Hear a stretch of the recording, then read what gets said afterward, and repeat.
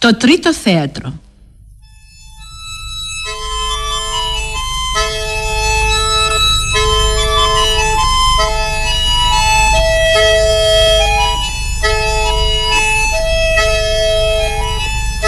Ιβάνοφ του Άντων Τσέχοφ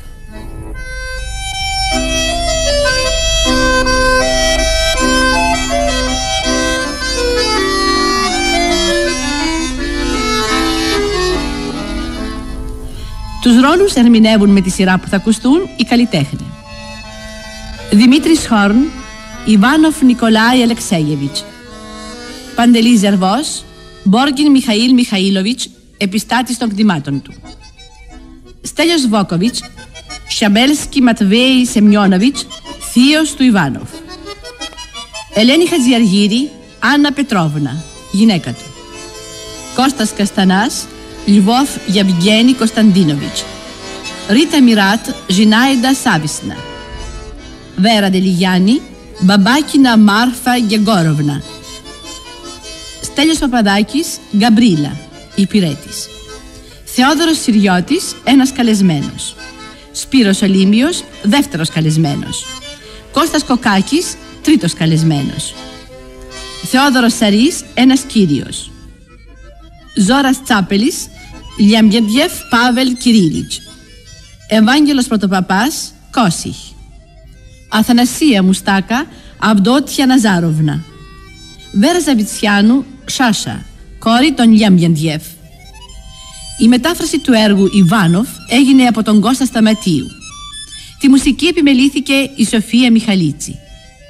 Επιμέλεια ήχων Γίτσας Βαλμά.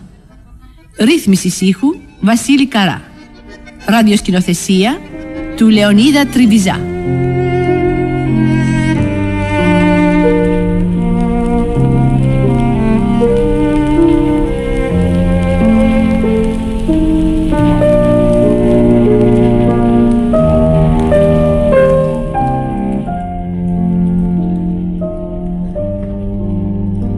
Μίσα! Για το όνομα του Θεού με τρόμαξες. Είμαι κιόλας τόσο. τόσο αναστατωμένος και να έχω και εσένα από πάνω με τα ηλίθια αστεία σου. Τρόμαξε και φυσικά ευχαριστήθηκες. Καλά, καλά, με συμπαθάς. Δεν θα το ξανακάνω, στο υπόσχομαι. Ουφ, ζέστη.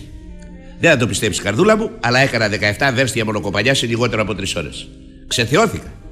Βάλει το χέρι σου να δεις πώς χτυπάει η καρδιά μου. Καλά, αργότερα. Όχι, όχι, τώρα. Ακούς. Ντουκ, ντουκ, ντουκ, ντουκ. Αυτό σημαίνει πως η καρδιά μου δεν γίνεται πολύ καλά. Κάθε στιγμή μπορεί και να πεθάνω έτσι ξαφνικά. Α, για πες μου αλήθεια. Θα λυπηθείς αν πεθάνω; Διαβάζω αργότερα. Όχι σοβαρά. Θα λυπηθείς αν πεθάνω έτσι ξαφνικά; Νικολάη Αλεξέγεβιτς, πες μου, θα λυπηθείς αν πεθάνω; Μη με βασανίζεις. Αχ, παλιέ μου φίλε, θέλω να ξέρω, πες μου, θα λυπηθείς; Για εκείνο που λυπάμαι είναι που βρωμαγωπά βότκα. Μη το βρίσκω αειδιαστικό. Ωστε αλήθεια. Μυρίζω, ε. Περίεργο. Ε, αν και εδώ που τα λέμε και τόσο περίεργο δεν είναι. Στον Μπλέσνικη, ξέρεις, έπεσα πάνω στον ανακριτή και πρέπει να το παραδεχτώ πως κουβέντα στην κουβέντα ήπιαμε κάπου 8 ποτήρια ο καθένας. Από γενική άποψη το πιο το βλάφτει πολύ στην υγεία. Εσύ τι λες, δεν είναι βλαβερό; Ε, δεν είναι; Επιτέλους αυτό είναι ανυπόφορο. Πρέπει να καταλάβεις μίσο από αυτό που κάνεις είναι εξοργιστικό. Καλά, καλά, μη σηκώνεσαι, φεύγω. Περίεργος κόσμος. Ούτε να μιλήσεις δεν μπορείς μαζί τους. Α, είδες, παραλίγο να το ξεχάσω. Μπορώ να έχω 82 ρούβλια, παρακαλώ; Γιατί 82 ρούβλια; Αύριο πρέπει να πληρώσω τους εργάτες. Δεν έχω. Ευχαριστώ πολύ. Δεν έχω. Δεν καταλαβαίνεις πως οι εργάτες πρέπει να πληρωθούν, ε; Δεν ξέρω. Σήμερα δεν έχω ούτε καπίκι. Περίμενε όσο με την πρώτη του μηνός όταν θα πάρω το μισθό μου. Α, χάνει κανείς τα λόγια του μιλώντας με ανθρώπους σαν και σένα. Οι εργάτες δεν θα έρθουν για τα λεφτά τους την πρώτη, θα έρθουν αύριο και μάλιστα πρωί πρωί. Ε, και λοιπόν μπορώ να κάνω τίποτα τώρα; Όχι. Τι πρόκειται λοιπόν να κερδίσεις, αλλά εξακολουθείς να με γκρινιάζεις και να με τυραννάς; Θεέ μου, τι απέσια συνήθεια είναι αυτή που έχεις. Να μου τριβελίζει το μυαλό μόλις με δεις να καθίσω κάπου να διαβάσω ή να γράψω ή να. Εγώ ένα θέλω να ξέρω, πρέπει να πληρωθούν οι εργάτες, ναι ή όχι. Αλλά τι κάθομαι και στα λέω όλα αυτά. Γεωκτήμονες σου λέει ύστερα, μεγάλα φετικά και εγώ δεν ξέρω τι άλλο. Ορθολογιστική καλλιέργεια. 4.000 τρέματα έχεις και ούτε ένα καπίκι στην τσέπη. Σαν να έχεις κελάρι γεμάτο με κρασά και να σου λείπει το τυρμπουσόν. Θα δεις αν δεν πουλήσω αύριο την Τρόικα. Ναι, ναι, θα την πουλήσω. Έδωσα κιόλας τη βρώμη προτού να τη θερήσουμε και αύριο που με βλέπεις θα πάω να ξεπουλήσω και τη σίκαλη. Μην τα χάσω πέρασε ιδέα πως θα κάτσω να σκάσω. Ε, λοιπόν, όχι. Δεν είμαι εγώ από αυτούς τους ανθρώπους. Είναι εντελώς αδύνατο να παίξει κανείς μαζί σου. Έχεις μουσικό αυτή χειρότερο και από ένα ψάρι. Και το τουσέ σου είναι εξοργιστικό. Ποιος ξεφωνίζει; Α, εσείς είστε Μίσα; Τι σας έρχεσαι και χαλάτε έτσι στον κόσμο; Με τον αγαπημένο σας Νικολά Βουαλά από εδώ, άμα έχει να κάνει κανείς, δεν γίνεται να μην ξεφωνήσει. Για πετε εμείς να απλώσει μερικά δεμάτια σαν στο γήπεδο του Κροκέ. Αφήστε με ήσυχο, σας παρακαλώ. Ο μα τι τόνος φωνής είναι αυτός. Δεν σας πηγαίνει καθόλου, μα καθόλου. Αν θέλετε να σας αγαπάνε οι γυναίκες, δεν πρέπει να θυμώνετε ποτέ. Και ούτε να παριστάνετε το σκληρό άντρα μπροστά τους. Νικολάη, πάμε να παίξουμε στις θημωνιές. Μη στέκεις σε ανοιχτό παράθυρο, Ανιούτα, θα σου κάνει κακό. Πήγαινε μέσα, σε παρακαλώ. Θείε! Κλείσε επιτέλους αυτό το παράθυρο. Είναι και το άλλο. Μην ξεχνάς πως σε δύο μέρες πρέπει να πληρωθούν οι τόκοι στους Λέμπιαντεφ. Μα το ξέρω. Θα πάω σήμερα στους Λιέμπιεντεφ και θα τους ζητήσω να περιμένει. Mm. Πότε σκοπεύεις να πας, Τώρα. Ε, για σιγά, για σιγά. Σήμερα δεν είναι τα γενέθλια της Σουρότσκα; Βρε, βρε, βρε, βρε, βρε, και το είχα σχεδόν ξεχάσει. Μνημονικό να σου πετύχει, ε. Φύγαμε. Πάω να δώσω μια βουτιά στο ποτάμι, να ρίξω και δύο-τρεις σταγόνες αμμονίας στο στόμα μου για να φύγει η μυρουδιά της βότκας και ύστερα θα είμαι έτοιμος να ξαναρχίσω την ημέρα μου πάλι από την αρχή. Αχ, αγαπημένε μου Νικολάη Αλεξέγεβιτς, μανούλα μου, άγγελε της ψυχής μου, πάντα σου νευριάζεις, γκρινιάζεις, απελπίζεις, εκλές τη μοίρα σου, ενώ εμείς οι δυο, αν θες να ξέρεις, και τι δεν θα μπορούσαμε να κάνουμε. Να, εγώ για σένα είμαι έτοιμος για όλα. Θες να παντρευτώ τη Μάρθουσα μπαμπάκινα, η μισή πρίκα δική σου. Τι λέω η μισή, πάρ την όλοι, όλοι. πάψε να είσαι ανοησίες. Μιλάω σοβαρά, θες να παντρευτώ τη Μάρθουσα, η πρίκα μισή-μισή. Αλλά τι κάθομαι και στα λέω όλα αυτά. Μήπως πρόκειται να καταλάβεις ποτέ σου. Πάψε να λες ανοησίες. Είσαι καλός άνθρωπος. Έξυπνος. Αλλά σου λείπει κάτι. Να, δεν έχεις αυτό το κάτι, πώς να σου το πω, καταλαβαίνεις. Δεν έχεις δυνατή θέληση. Έτσι και έπαιρνες τα πράγματα κάπως πιο ζεστά. Εσύ θα μπορούσες να φέρεις τον κόσμο πάνω κάτω. Άκουσε με που σου λέω. Είσαι όμως άβουλος, ψυχοπαδή. Αλλιώς, αν ήσουν ομαλός άνθρωπος μέσα σε ένα χρόνο, θα μπορούσες να βρεθείς με εκατομμύριο. Να, εγώ για παράδειγμα. Αν αυτή τη στιγμή είχα 2.300 ρούβλια, μέσα σε δύο εβδομάδες θα τα είχα κάνει 20.000. Δεν με πιστεύεις, ε, και αυτό κατά τη γνώμη σου είναι ανοησίες. Ε, λοιπόν, όχι, δεν είναι. Κάνε πως μου βάζεις στο χέρι 2.300 ρούβλια και σε μια εβδομάδα θα φέρα πίσω 20.000. Άκου, στην απέναντι όχθη ο Αυσανόφ πουλάει ένα κομμάτι γης ακριβώς φάτσα στο δικό μας για 2.300 ρούβλια. Αν αυτό το κομμάτι το αγοράσουμε εμείς, τότε και οι δύο όχθε γίνονται δικές μας. Και άμα οι δύο όχθε είναι δικές μας, καταλαβαίνεις, δικαίωμά μας είναι να φτιάξουμε ένα φράγμα και να κλείσουμε το ποτάμι. Με παρακολουθείς. Βάζουμε λοιπόν μπρος, να χτίσουμε ένα μήλο και αφήνουμε να μαθευτεί πως θέλουμε να φτιάξουμε και φράγμα. Πολύ φυσικό λοιπόν αυτοί που κάθονται πιο κάτω από εμάς στο ποτάμι να σηκώσουν τον κόσμο στο ποδάρι. Και τότε εμείς τους λέμε, Come here. Άμα θέλετε να μην γίνει το φράγμα, πρέπει να πληρώσετε. Καταλαβαίνεις που το πάω. Το εργοστάσιο Ζάρεφ ευχαρίστω θα δώσει 5.000. Ο Κορόρκοφ 3.000. Το μοναστήρι 5.000. Όλα αυτά το... μη είναι βρωμοδουλειές. Αν δεν θέλεις να μαλώσουμε για καλά, κράτα τα σχέδιά σου για τον εαυτό σου. Εντάξει. Εντάξει. Το ξέρα πως εκεί θα κατέληγε το πράγμα. Και εσύ από μόνος σου δεν κάνεις τίποτα και εμένα με εμποδίζεις να προκόψω. Γιατροί και δικηγόροι είναι ένας συνάφι. Με μόνη τη διαφορά πως οι δικηγόροι σε ληστεύουν μονάχα ενώ οι γιατροί και σε ληστεύουν και σε σκοτώνουν. Εξαιρούνται οι παρόντες. Τσαρλατάνοι εκμεταλλευτές. Μα δεν λέω, μπορείς σε κάποια ιδανική πολιτεία να ανταμώσεις και μια εξαίρεση σε αυτόν τον γενικό κανόνα. Εγώ όμως έχω ξοδέψει όλη μου τη ζωή πάνω από 20.000 ρούμπλια στους γιατρούς και ποτέ μου δεν αντάμωσα ούτε έναν που να μην είναι απατεώνα με πατέντα. Μάλιστα κύριε. Και εσύ από μόνος δεν κάνεις τίποτα; Και εμένα δεν με αφήνεις να κάνω κάτι; Γι' αυτό το λόγο δεν έχουμε πεντάρα. Μα το επαναλαμβάνω, εξαιρούνται οι παρόντες. Δεν αποκλείεται να υπάρχουν και εξαιρέσεις. Ωστόσο. Λοιπόν, γιατρέ, τι λέτε; Το ίδιο που είπα και το πρωί. Πρέπει να φύγει αμέσως για την Κρυμαία. για την Κρυμαία. Γιατί εμείς σαν να μην κάναμε και εμείς τους γιατρούς, ε; Είναι τόσο απλό. Μόλις μέσα στην τεμπελιά της συνακωθεί, βήξει μια κυρία, μια μανταμαγκό ή κάποια οφειλία, ας πούμε, παίρνεις αμέσως χαρτί και γράφεις συνταγή που να βασίζεται στις πιο αυστηρές επιστημονικές αρχές. Πρώτον, ο γιατρός να είναι νέος. Έπειτα, ταξιδάκι στην Κρυμαία και μόλις φτάσετε στην Κρυμαία, ένα τάταρο για οδηγό. Αχ, δεν σταματάς ε; πια, πάψε! Για να πάει κανένας στην Κρυμαία χρειάζονται χρήματα. Μα κι αν υποθέσουμε ότι βρίσκω τα χρήματα, η ίδια αρνιέται κατηγορηματικά να φύγει. Ναι. Αρνιέται.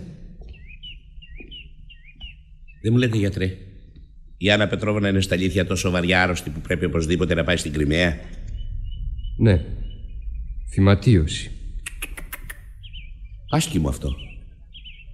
Αν το είχα καταλάβει από καιρό βλέποντας την κλωμάδα της πως δεν θα αντέξει για πολύ. Μιλάτε σιγότερα. Ακούγεστε από το σπίτι. Η ζωή μας.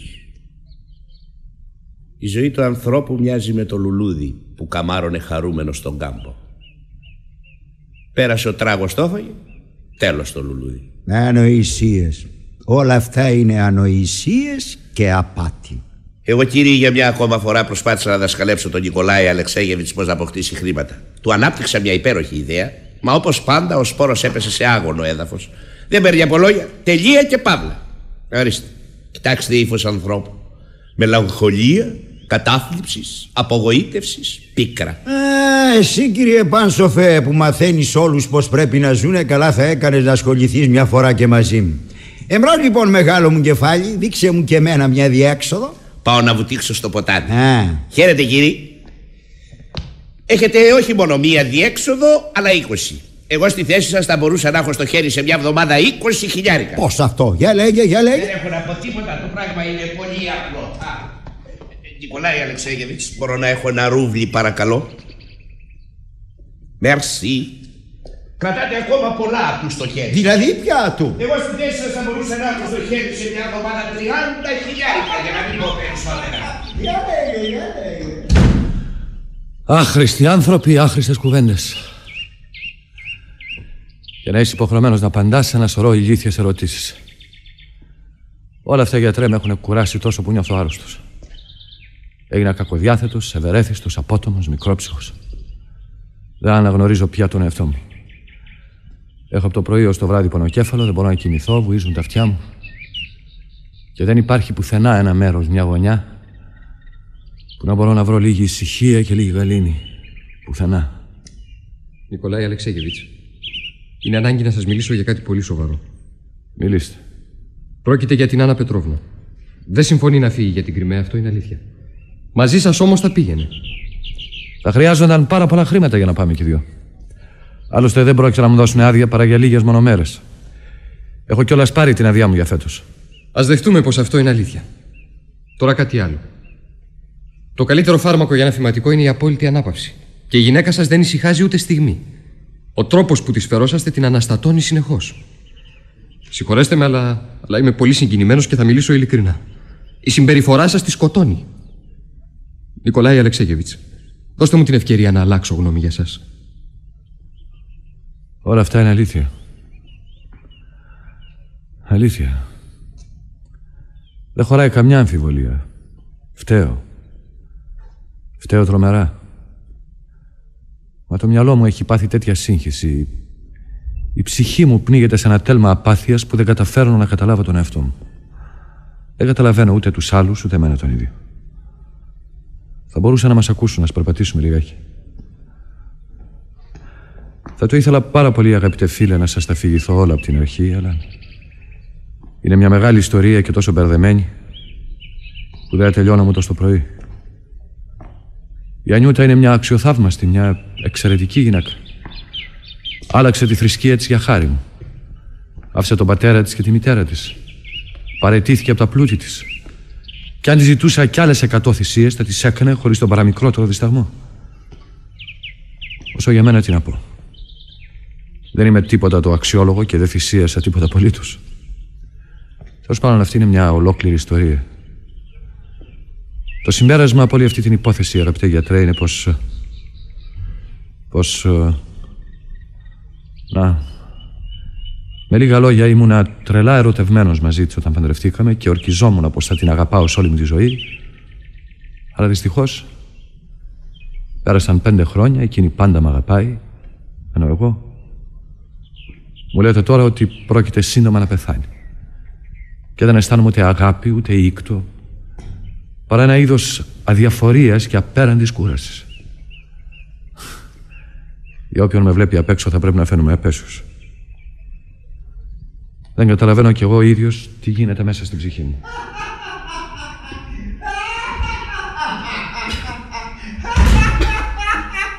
Στο λόγο μου αυτός ο Μπόρκιν δεν είναι απατεώνας. Είναι μεγάλο μυαλό. Βιρτιόζος Θα έπρεπε να τους στήσουν μνημείο και εσύ είναι ακόμα ζωντανός Συμπυκνώνει σε ένα και μόνο άτομο όλες τις ποικιλίες της μοντέρνας σαπίλας.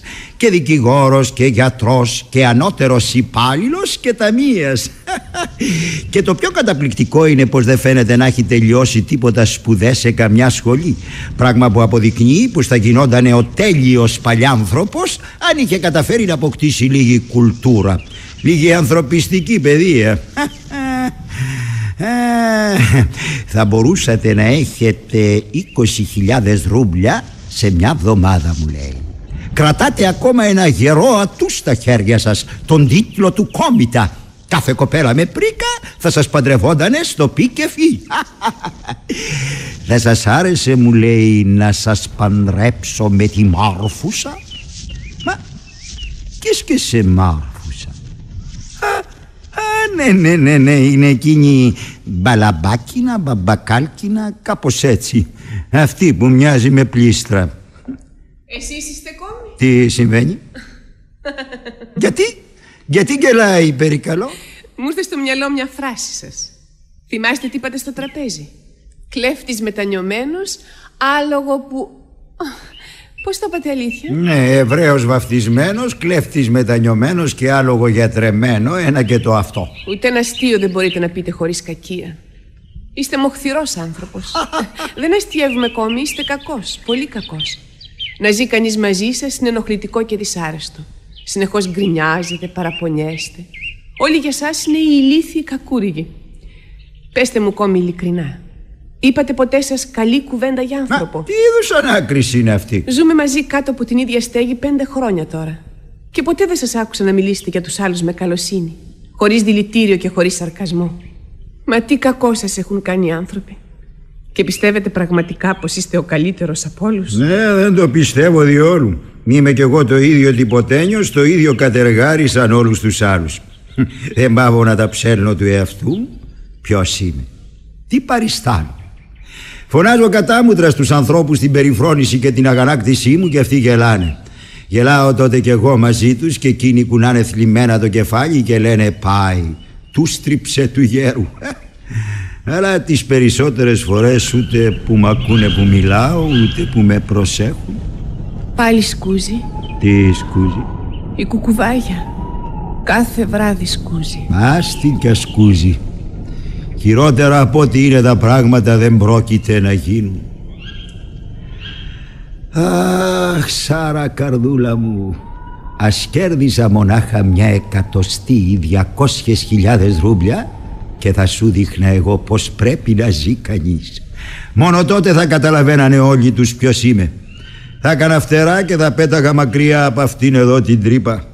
Μακριά από το κομμάτι το ψωμί του φτωχού που μου δίνεται και τρώω και δεν θα πατούσα το πόδι μου εδώ ως τη δεύτερη παρουσία. Και τι θα κάνατε αν στα αλήθεια κερδίζατε αυτά τα χρήματα; Πρώτα απ' όλα θα πήγαινα στη Μόσχα να ακούσω τα τραγούδια των τζιγκάνων. Ύστερα θα τραβούσα γραμμή για το Παρίσι. Θα νίκιαζα εκεί ένα διαμέρισμα θα πήγαινα στη Ρώσικη εκκλησία Και ύστερα; Ύστερα Τίποτα. Θα περνούσα τις ώρες μου καθισμένος πάνω στον τάφο της γυναίκας μου και θα σκεφτόμουν. Θα έμενα εκεί, πάνω στον τάφο της, ώσπου να πεθάνω. Η γυναίκα μου είναι θαμένη στο Παρίσι. Τι πλήξη, Θεέ μου. Τι λέτε, παίζουμε ακόμα ένα ντουέτο; Καλά, καλά, καλά. Ετοιμάστε τις παρτιτούρες και έρχομαι. Εσείς αγαπητέ φίλε Τελειώσατε τις σπουδές σας μόλις πέρσι. Είσαστε νέος και δραστήριος. Ενώ είμαι πια στα 35. Έχω λοιπόν το δικαίωμα να σας δώσω μια συμβουλή. Μην μαντρευτείτε ποτέ Εβραία. Ούτε ψυχοπαθή, ούτε διανοούμενη. Διαλέξτε μια γυναίκα της σειράς, να μην ξεχωρίζει από τις άλλες, να μην κάνει άσκοπο θόρυβο. Και για να μιλήσουμε, φίλο μου, γενικότερα, φροντίστε να χτίσετε όλη τη ζωή σας πάνω στα πιο συνηθισμένα, στα πιο κοινότοπα καλούπια. Όσο πιο πεζό και μονότονο είναι το υπόβαθρο, τόσο το καλύτερο. Όσο για τη ζωή που έζησα εγώ, πόσο εξαντλητική ήταν, Θεέ μου. Όλος σφάλματα, αδικίες, όλο παράλογες πράξεις χωρίς συνέπεια. Μα όπου να γυρίσω να κοιτάξω θα είσαι πάντα μπροστά μου. Δεν μπορείς να με αφήσεις να μιλήσω μόνος με έναν άνθρωπο; Ναι, μου μένει πια παρά να πάω να πέσω να πνιγώ. Δεν υπάρχει θέση για μένα πουθενά. Έλα, έλα, έλα. Έλα, σου ζητάω συγγνώμη, συγχώρεσέ με. Για ποιο λόγο τώρα να τον πληγώσω; Όχι, στα αλήθεια έχουν σπάσει τα νεύρα μου. Πρέπει κάτι να κάνω, πρέπει. Κολλάει Αλεξέγεβιτς. Σας ακούω εδώ και τόση ώρα και συγχωρέστε με, αλλά θα μιλήσω ειλικρινά χωρίς να μασίσω τα λόγια μου. Στον τρόπο που μιλάτε, στον τόνο της φωνής σας και αφήνω κατά μέρος τα όσα λέτε, υπάρχει τόσο άκαρδος εγωισμός, τόση απανθρωπιά, τόση ψυχρή αδιαφορία. Εδώ, εδώ ένα τόσο κοντινό σας πρόσωπο, η γυναίκα σας, πεθαίνει ακριβώς επειδή θέλει να βρίσκεται κοντά σας. Οι μέρες της είναι μετρημένες και εσείς, εσείς, εσείς μπορείτε να μην την αγαπάτε, να κάνετε περιπάτους, να δίνετε συμβουλές, να λέτε μεγάλα λόγια. Δεν μπορώ να σας τα εκφράσω όλα αυτά όπως τα ήθελα. Δεν έχω το χάρισμα του λόγου, μα, μα μου είσαστε βαθύτατα αντιπαθητικός. Μπορεί να έχετε δίκιο. Εσείς βλέπετε τα πράγματα απ' έξω και μπορείτε να με κρίνετε καλύτερα. Είναι πιθανόν να φταίω εγώ. Να φταίω πολύ. Πάρα πολύ. Αν δεν γελιέμαι έχουν ζέψει τα άλογα. Πάω να ντυθώ. Δεν με συμπαθείτε, γιατρέ, και δεν το κρύβετε. Αυτό σας τιμά. Καταραμένο χαρακτήρα που τον έχω. Πάλι άφησα να μου ξεφύγει η ευκαιρία και δεν του μίλησα όπως έπρεπε. Δεν μπορώ να του μιλήσω ψύχρεμα. Μόλις ανοίξω το στόμα μου και πω την πρώτη λέξη, κάτι εδώ μέσα αρχίζει και με πνίγει. Και ωστόσο το μισό αυτό το ταρτούφο. Αυτό το φουσκωμένο απαταιώνα. Το μισό μόλι μου την ψυχή. Ορίστε, φεύγει. Μόνη χαρά της δύστιχης γυναίκας του είναι να τον αισθάνεται κοντά της. Είναι για αυτήν η πνοή της ζωής. Τον νικετεύει να περάσει έστω και μια μόνο βραδιά μαζί της και αυτός. Αυτός δεν μπορεί. Βρίσκει το σπίτι, λέει, πνιγυρό. Δεν τον χωράει ο τόπος. Αν έμενε ένα βράδυ εδώ, θα έπρεπε να τεινάξει τα μυαλά του στον αέρα από πλήξη. Έχει ανάγκη από άπλα ο Καημενούλης για να σκεφτεί πώς θα σκαρώσει κάποια καινούρια βρωμοδουλειά. Ναι. Ξέρω εγώ γιατί πηγαίνεις κάθε βράδυ σε αυτούς του Λιέμπελεφ. Ξέρω.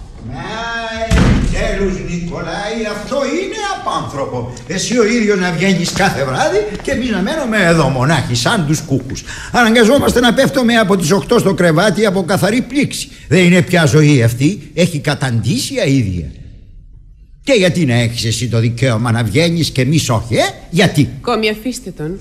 Αφού θέλει να φύγει, ας φύγει. Μα πού θα μπορούσες να πας έτσι άρρωστη που είσαι; Είσαι άρρωστη, Ανιούτα, και δεν επιτρέπεται να βγαίνεις έξω μετά τη δύση του ηλίου. Να, εδώ είναι ο γιατρός, ρώτησέ τον. Ε, δεν είσαι πια παιδί, Ανιούτα, πρέπει να λογικευτείς.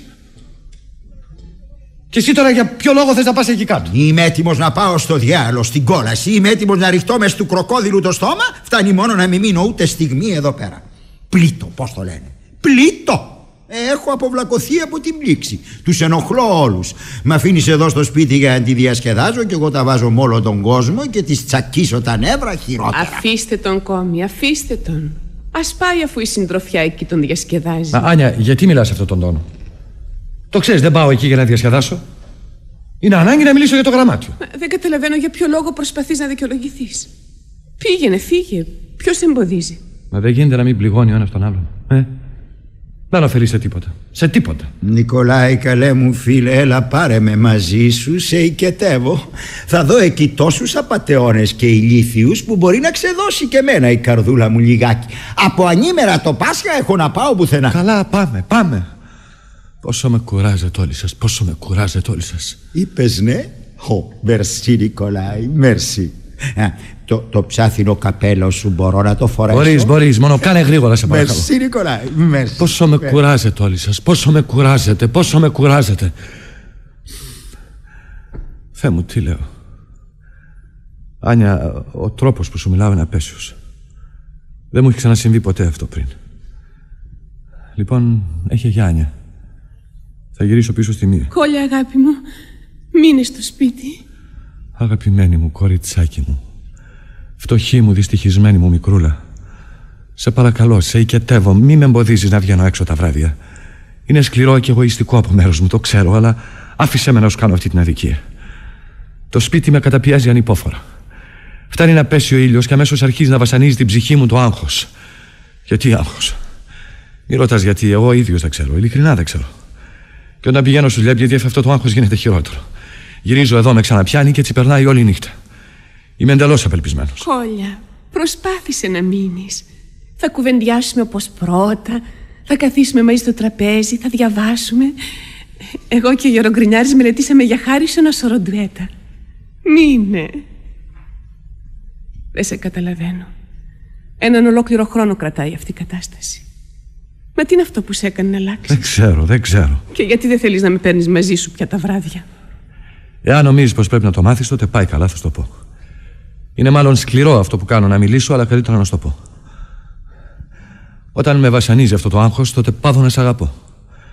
Δεν μπορώ να σε υποφέρω σοβαστά γι' αυτό. Νιώθω με μια λέξη την ανάγκη να φύγω μακριά από το σπίτι. Ώστε το άγχος είναι που. Το καταλαβαίνω. Ξέρεις κάτι, Κόλια; Προσπάθησε να τραγουδήσεις όπως πρώτα. Να γελάσεις, να θυμώσεις. Μείνε στο σπίτι. Θα πιούμε μαζί, θα γελάσουμε και θα δεις το άγχος θα σου φύγει στη στιγμή.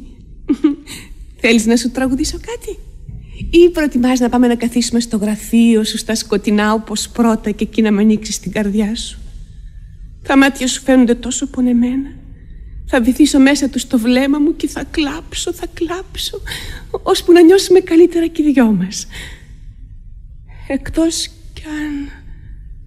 Κόλια, πώς ήταν τα λόγια εκείνου του τραγουδιού; Τα λουλούδια ξαναγεννιούνται κάθε άνοιξη. Μα οι χαρές ποτέ. Αυτό είναι. Ναι. Καλά λοιπόν. Φύγε. Φύγε. Προσευχή σου για μένα στο Θεό, Άνια. Φύγε. Δεν μπορώ.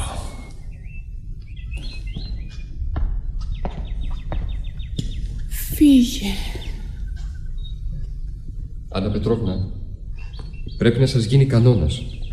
Μόλις το ρολόι θα χτυπήσει έξι, θα κλεινόσαστε στο δωμάτιό σας και δεν θα ξεμητίζετε παρά μόνο το πρωί. Η υγρασία της νύχτας σας κάνει πολύ κακό. Στις διαταγές σας εξοχότατε. Μην ειρωνεύεστε, μιλάω πολύ σοβαρά. Ε, εγώ όμως δεν θέλω να είμαι σοβαρή. Να βλέπετε, κιόλας βύχετε. Νικολάη, είναι έτοιμα τα άλογα; Καληνύχτα γοητεία μου. Γεβάω. Συγχωρήστε εσείς σε μένα περικαλώ, ε.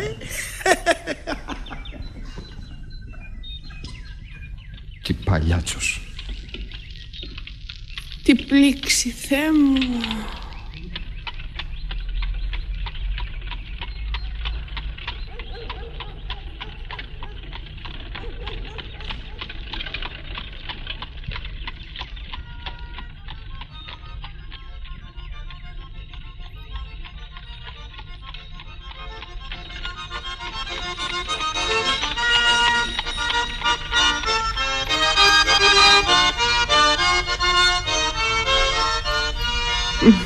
Οι αμαξάδες και οι μαγείρισες το έχουν στήσει στο χώρο. Κι εγώ, εγώ σαν εγκαταλειμμένη από όλους.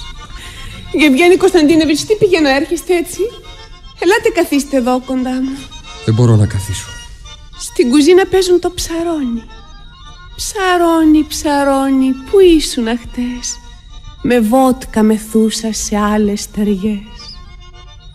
Γιατρέ, Έχετε πατέρα και μητέρα; Ο πατέρας πέθανε, μα έχω μητέρα. Την νοσταλγείτε τη μητέρα σας; Δεν μου μένει καιρός να νοσταλγήσω. Τα λουλούδια ξαναγεννιούνται κάθε άνοιξη. Μα οι χαρές ποτέ. Ποιος μου την είπε αυτή τη φράση; Βόηθα με Θεέ μου να θυμηθώ. Μου φαίνεται πως μου την είπε ο ίδιος ο Νικολάη. Πάλι σκούζει κουκουβάγια. Ασκούζει όσο θέλει. Λοιπόν, γιατρέ, αρχίζω να πιστεύω πως η τύχη μου με ξεγέλασε. Πάρα πολλοί άνθρωποι που ίσως δεν είναι καλύτεροι από μένα ζουν ευτυχισμένοι και δεν πληρώνουν τίποτα για αυτή τους την ευτυχία. Εγώ όμως πλήρωσα για όλα. Για όλα απολύτως. Και πόσο ακριβά. Γιατί να ζητάει από μένα η ζωή τόσο υψηλό τόκο; Εσείς είστε πάντα τόσο προσεκτικός μαζί μου, τόσο τελικάτος. Φοβάστε να μου πείτε την αλήθεια. Νομίζετε λοιπόν πως δεν ξέρω τι αρρώστια έχω; Το ξέρω πάρα πολύ καλά μάλιστα, αλλά το βρίσκω βαρετό να μιλάει κανείς γι' αυτά. Συγχωρείτε εσείς σε μένα, περικαλώ. Ξέρετε να λέτε διασκεδαστικά ανέκδοτα; Δεν ξέρω. Ο Νικολάη όμως ξέρει. Λοιπόν, αρχίζω να πορώ με την ανεντιμότητα των ανθρώπων. Γιατί στην αγάπη να μην ανταποδίδουν και αυτή αγάπη και στην αλήθεια να απαντάνε με το ψέμα. Πέστε μου γιατρέ, πόσο καιρό ακόμα θα με μισούν ο πατέρας μου και η μητέρα μου; Μένουν πενήντα βέρστια μακριά από εδώ και εγώ μέρα και νύχτα, ακόμα και στον ύπνο μου, νιώθω το μίσος τους να με καίει. Και τι εξήγηση να δώσω στο άγχος του Νικολάη; Λέει πως μόνο τα βράδια δεν με αγαπάει όταν αισθάνεται πως πνίγεται εδώ μέσα. αυτό το καταλαβαίνω και ίσως να είναι αλήθεια. Όμως πέστε μου, τι θα απογίνω αν πάψει να μ' αγαπάει εντελώς; Βέβαια κάτι τέτοιο είναι αδύνατον. Αν όμως, όχι, όχι, ούτε να το σκέφτομαι δεν πρέπει. Ψαρώνει, ψαρώνει που ήσουν. Ο Θεέ μου, τι φρικτές σκέψεις που κάνω. Εσείς γιατρέ δεν είστε παντρεμένος και υπάρχουν πολλά πράγματα που δεν μπορείτε να τα καταλάβετε. Λέτε, λέτε πως οι άνθρωποι σας κάνουν να απορείτε. Όχι, εγώ απορώ. Και απορώ με εσάς. Να, εξηγήστε μου για παράδειγμα, πώς συμβαίνει εσείς μια έξυπνη, τίμια, μια σχεδόν άγια γυναίκα. Να αφήσετε να σας ξεγελάσουν τόσο ξεδιάντροπα. Να σας τάψουν ζωντανή σε αυτή τη φωλιά για κουκουβάγες. Τι δουλειά έχετε εσείς εδώ; Τι το κοινό μπορείτε να έχετε εσείς με αυτό τον ψυχρό και άκαρδο άντρα. Αλλά ας αφήσουμε το σύζυγό σας κατά μέρος. Τι το κοινό μπορείτε να έχετε εσείς με αυτό το ψυχρό, το, το άκαρδο περιβάλλον. Θέ μου, θέ μου.